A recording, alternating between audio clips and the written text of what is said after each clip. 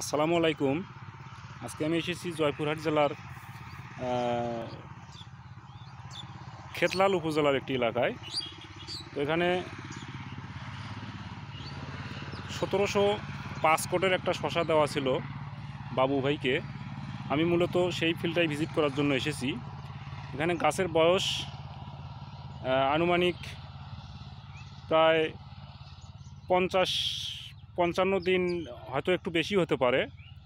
তো শশার গাছ ওই সময় উনি দিয়েছিলেন। তো গাছ কিন্তু অনেক গাছ নষ্ট করে ফেলেছেন।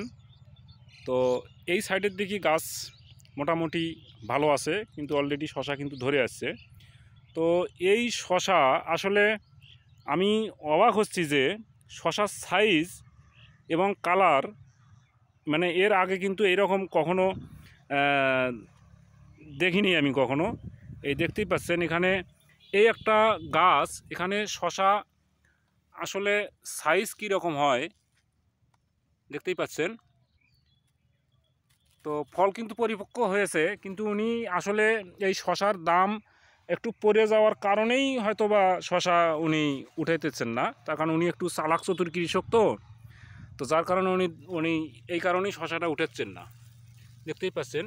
তো আমি এখান থেকে অবশ্যই শশা দুটো তুলে নেব। তার কারণ আমাকে দেখতে হবে, এটা যদিও স্যাম্পল যার কারণে আমাকে শশা উঠিয়ে নিতে হবে। এটার ওজন কীরকম আসে, আমি এটা দেখার জন্য অবশ্যই আমি উঠে নেব।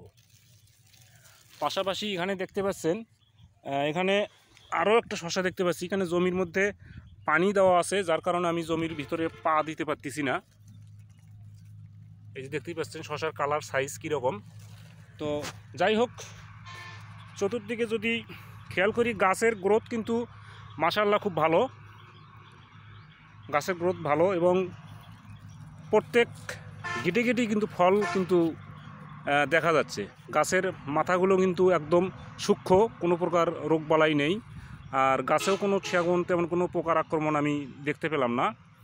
যাই হোক, ওনাকে দিয়ে আমি স্যাম্পল এই কারণেই করাই উনি একটু মানে কি বলি? সচেতন কৃষক এবং খুব চালাক কৃষক। তোকে আসসালামু আলাইকুম।